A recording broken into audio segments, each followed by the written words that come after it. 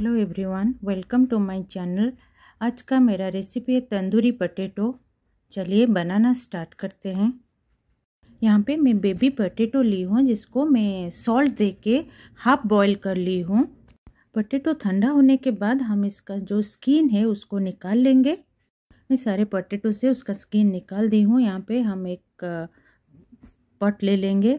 उसमें मैं दूँगी टू टेबल दही red chilli powder salt turmeric tandoori masala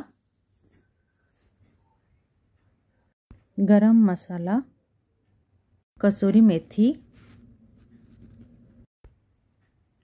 ginger garlic paste lime juice सारे मसाले को अच्छी तरह मिक्स कर लेंगे। मसाला मिक्स होने के बाद उसमें हम बॉइल्ड पोटैटो दे देंगे। पोटैटो को अच्छी तरह मसाले में कोट कर लेंगे। मसाला में अच्छी तरह कोट करने के बाद हम इस पोटैटो को वन आवर रेस्ट के लिए रख देंगे। मैं यहाँ पे मैरिनेटेड पोटैटो को वन आवर के लिए रैप करके फ्रीज में रख दूँगी। मैं यहाँ पे फोर वुडन स्क्यूवर ली हूँ। इस क्यूअर को मैं ट्वेंटी मिनट्स पहले पानी में सोख कर ली थी। पानी में नहीं सोख करेंगे तो ये ओवन में जाते ही जल जाएगा। अभी हम इस मैरिनेटेड पोटैटो को एक एक करके स्कीवर में डालेंगे।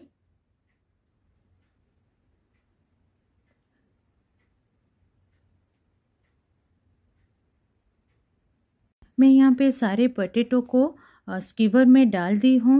अभी हम इसको एक बेकिंग ट्रे में सजा लेंगे और जो बचा हुआ मसाला था उसको पटेटो के ऊपर दे देंगे।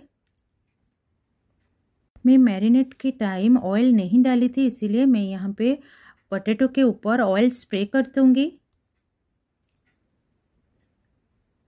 मैं यहाँ पे ओवन को टेन मिनट्स पहले फ्री हीट के लिए रख दी थी।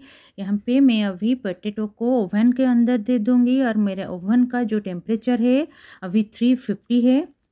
तो थ्री फिफ्टी में हम इसको फिफ्टीन टू ट्वेंटी मिनट्स के लिए बेक करेंगे। ये पटेटो को बेक होते हुए फिफ्टीन मिनट्स हो गया है। अभी हम इसको चेक कर लेंगे। मेरा जो ऊपर का साइड था, वो हल्का ब्राउन हो चुका है। अभी हम उसको नीचे की तरफ़ कर लेंगे। और टेन मिनट्स के लिए कुक होने छोड़ देंगे। मेरा तंदूरी पटाटो बनके तैयार है। ये खाने में बहुत टेस्टी लगता है। आप इसे बनाइए और अपना एक्सपीरियंस मेरे साथ शेयर कीजिए। Thank you